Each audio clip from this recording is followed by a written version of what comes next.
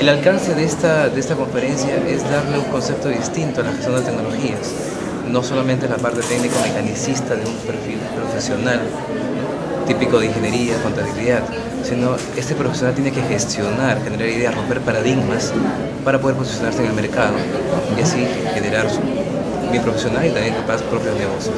Todo profesional trabaja con sistemas de información, algunos más especializados que otros. El perfil para subsistir en este medio tan globalizado y competitivo es que el personal, por más que sea técnico y especializado, tome decisiones. Y es la misión de las entidades educativas formar ese tipo de profesionales, ¿no? basados en liderazgo y con mucha creatividad e innovación. ¿Cuál es el ciclo más grande en, este, en esta lámina? Son, ¿cierto? ¿Sí?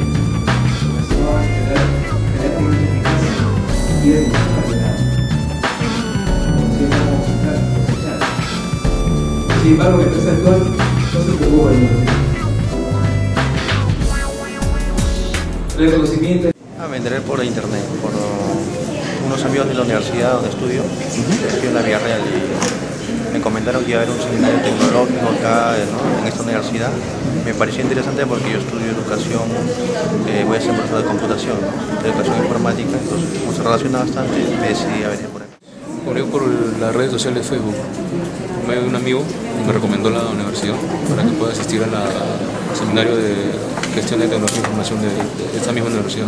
Es, un tema muy interesante para poder aplicarlo en las diferentes empresas de la, actualidad y es la primera vez que voy a asistir a un tema de, de gestión de tecnología e información, rompiendo los paradigmas.